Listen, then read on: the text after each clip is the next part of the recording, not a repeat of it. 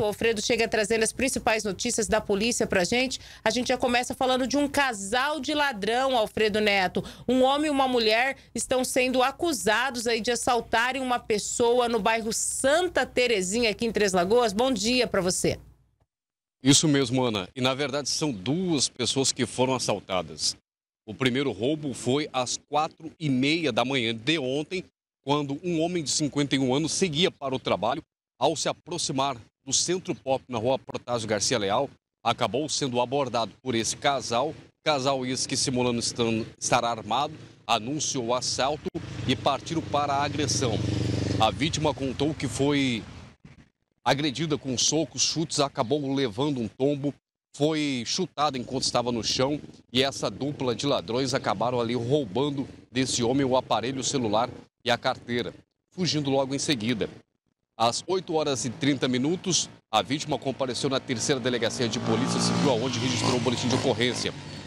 20 minutos depois, Ana, chegou uma outra pessoa, 57 anos, relatando que também passava pela rua Protásio Garcia Leal, quando por volta de 6 horas da manhã, acabou sendo abordada por um homem e uma transexual que anunciaram o assalto, simulando estar armados, e esse casal ali passou para a agressão dando socos, chutes na vítima. Vítima essa que também seguia para o trabalho, acabou caindo, foi agredida no chão e essa dupla, esse casal, acabou roubando da vítima a bolsa que ele carregava o uniforme de trabalho e alguns pertences para o dia no trabalho, como o aparelho celular. O caso também foi registrado na terceira delegacia de Polícia Civil e a Polícia Civil já abriu um inquérito para investigar o caso conseguir levantar imagens de circuito interno da região para poder identificar esse casal e responsabilizá-los pelo crime.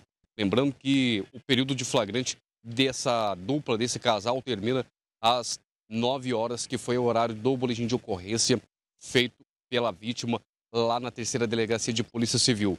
Mas chama atenção que em menos de duas horas, no mesmo local, ali na mesma região, esse casal, não se importando com a possível fiscalização da Polícia Militar, cometeram esse crime. E fica o alerta também para as possíveis vítimas de crime alertar a Polícia Militar, já que numa situação como essa, informada, a Polícia Militar teria feito rondas na região e tentado localizar esse casal de ladrões que teriam cometido esses dois roubos em menos de duas horas nesse pedaço ali da Protásio Garcia Leal, próximo ao Centro Pop, ali no bairro Jardim Santa Tereziana. Tá certo, Alfredo. É, realmente é preciso investigar para verificar aí, né, se realmente foi esse casal ou não. E as pessoas precisam ficar atentas. Ô, Alfredo, mas a gente fala agora de trânsito. Infelizmente, os acidentes não param de acontecer aqui em Três Lagoas. Um carro parou com as rodas para o ar após a mulher que dirigia o veículo se envolver em um acidente de trânsito. Isso mesmo, Ana. Por volta de 3h30 da tarde de ontem, o Corpo de Bombeiros e a Polícia Militar foram chamados para comparecer na Avenida Youssef El Bujarush, ali no Distrito Industrial 2 de Três Lagoas, próximo a Metal Frio, para ficar melhor a identificação para quem nos acompanha.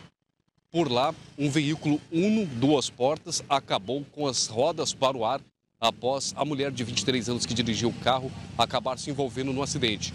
As causas desse acidente, as formas que ocorreram não foram aí divulgadas pelo Corpo de Bombeiros, que apenas prestou socorro para a vítima e, posteriormente, o fato foi repassado para a Polícia Militar. A vítima estava fora do veículo assim que o Corpo de Bombeiros chegou e o carro teria sido desvirado por populares.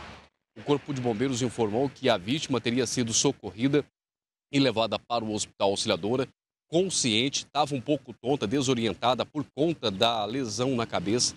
Durante esse capotamento, ela acabou batendo com a cabeça e sofrendo um corte do lado esquerdo mas não corria risco de morte, estava consciente, um pouco desorientada e não havia sinais de fratura.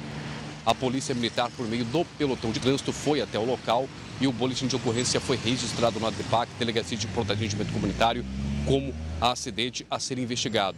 Agora vai ficar para a Polícia Civil investigar o caso, se foi a condutora que causou o próprio acidente, perdeu o controle ao passar por uma das lombadas que tem ali na Avenida Youssef Elvis Jaruch, ou se foi um outro veículo envolvido no acidente.